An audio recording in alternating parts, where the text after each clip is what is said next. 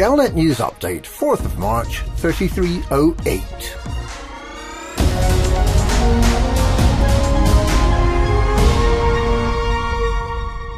High profits and the prospect of highly engineered power plants as rewards mean the final part of the Colonia Bridge starport build out looks likely to end early, possibly on Sunday. A Type 9 Heavy can make 20 million credits per delivery, with the profit margin dependent on the place of purchase. Some of the commodities are available from systems very close to Alcor, including Alioth, and supply is currently good, making this an easy way to build up a reserve of cash. But the real draw is the power plants on offer to the top 75% of participants.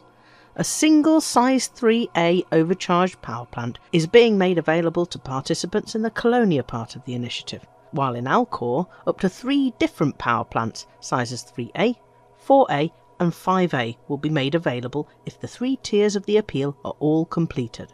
A Brewer spokesman clarified that these power plants will be single engineered, but the overall performance will be better than anything available through normal engineering. There will unfortunately be no size 2A power plants of the sort widely used in Jumperconda, Anaconda exploration builds. While the exact specification of the power plants not been revealed, it seems likely they'll be worth acquiring. Delivering between 2 and 3,000 units of the required commodities is likely to be sufficient to qualify, but commanders are advised to pay close attention to their ranking. The Colonia initiative aims to install four services in the starport closest to Colonia Pioneer Supplies, Outfitting, Shipyard, and a human tech broker. The Alcor appeal will outfit the other five stations with outfitting, shipyard, and a human tech broker. Those starports already have Pioneer supplies following a successful appeal in week two. There will be brewer decals and exploration decals as well, and the achievements of the top 10 commanders in each phase will be memorialised. But really, it's all about those power plants.